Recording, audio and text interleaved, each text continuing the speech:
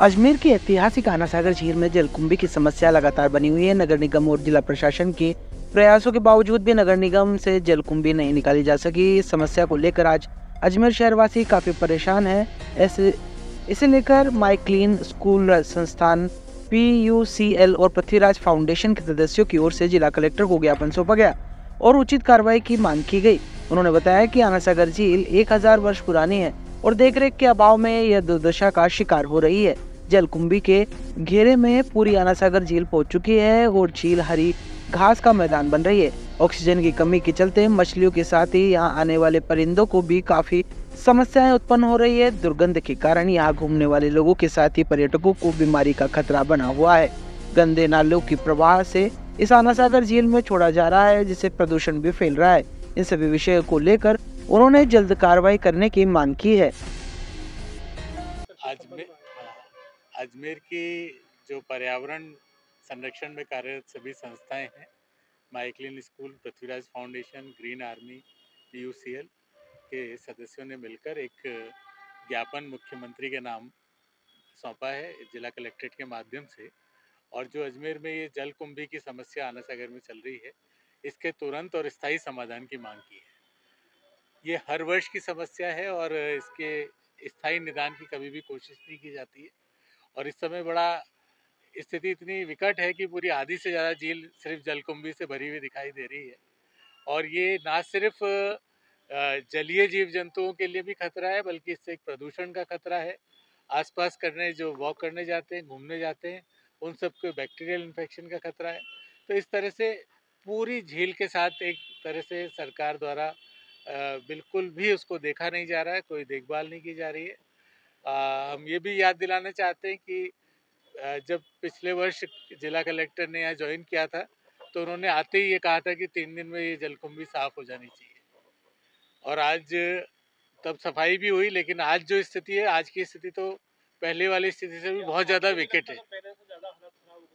बहुत ज़्यादा हालत खराब है। और इसका जो स्थायी समाधान है कि इसका स्रोत जहाँ से है वहाँ तक सफ़ाई नहीं हो रही। तो जिन नालों से बढ़कर बाड़ी नदी के नालों से बढ़कर ये आगे आती है अगर वहीं से नहीं रोकेंगे तो ये हर साल आएगी। हर साल ठेकेदार या उनकी विफलता उनकी ठेका खत्म जब साफ़ हो जाएगी तो ये संदेह तो किया ही जा सकता है क्योंकि ऐसी बड़ी समस्या नहीं है कि जिसका निदान ही नहीं हो सकता तो और लेकिन नहीं हो पा रहा है।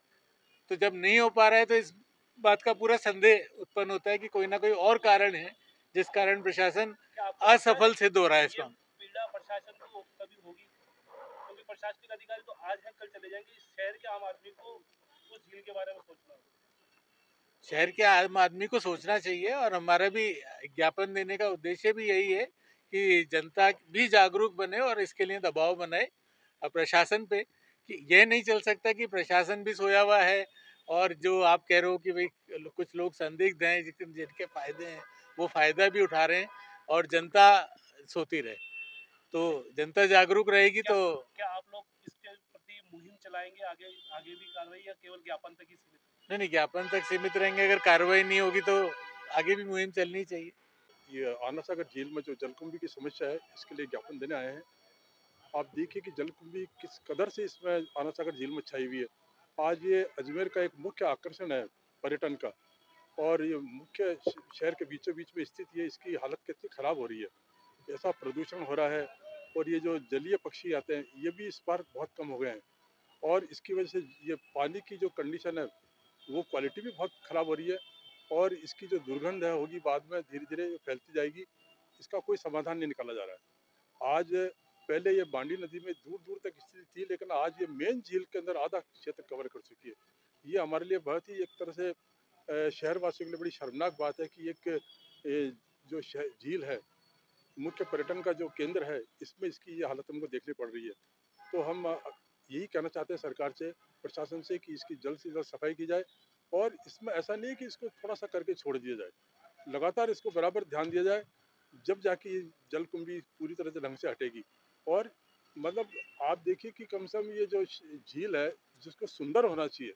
आज हम बड़े गर्व से दूसरे शहरों की बात करते हैं कि कितने सुंदर शहर है और अपने तो ये स्मार्ट सिटी और घोषित है।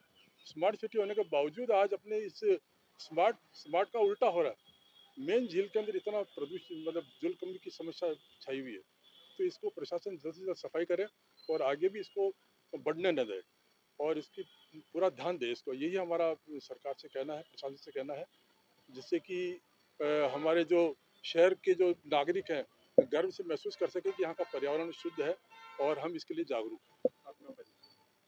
मेरा परिचय है कि हम एक माई क्लीन स्कूल हमारा ग्रुप है, जो कि स्कूलों में जाकर बच्चों को ये पर्यावरण के प्रति जागरूक करने का कार्यक्रम करता है और इसलिए हम आज इस पर्यावरण से संबंधित समस्या है, जिसके लिए हम सर प्रशासन से इसके लिए आग्रह करने के लिए हैं।